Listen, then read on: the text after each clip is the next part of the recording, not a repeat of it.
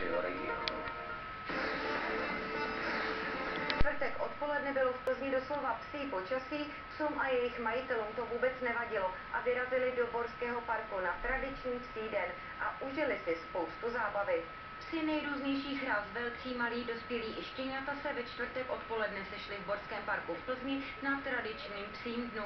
Ani nevlídné počasí pejskaře neodradilo. Chceme samozřejmě pozvat všechny majitele psů, a aby se přišli poklubit se svými miláčky, aby se soutěžili, aby měli příjemný den. Připravený je velice zajímavý program. Eh, Máme tady samozřejmě i veterináře, který eventuálně může prohlídnout psy. V Borském parku nemohl chybět ani herec a známý milovník psů Zdeněk Srstka. Mně se tady strašně líbí a ten pejsek je parťa. Rozumíte tomu tam zkrátka kdo nemá doma, tak neví o co přišel, rozumíte tomu. Na akci se představily také pomocné tlapky s asistenčními psy.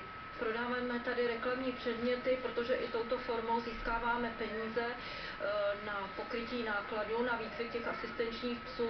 K velkým atrakcím patřila překážková dráha pro agility, kterou si mohl vyzkoušet kdokoliv.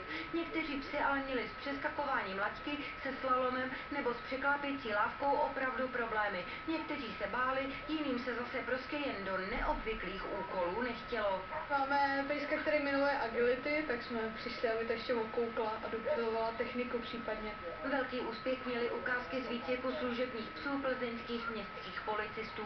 Figurant představoval napřed opilce, který na strážníky útočí. Pes ho zneškodnil jedním skokem přes střechu auta. Pak ho jako zloděj vytáhl ze zaparkovaného vozu a nakonec výdržínka spacifikoval jednou ranou košíkem.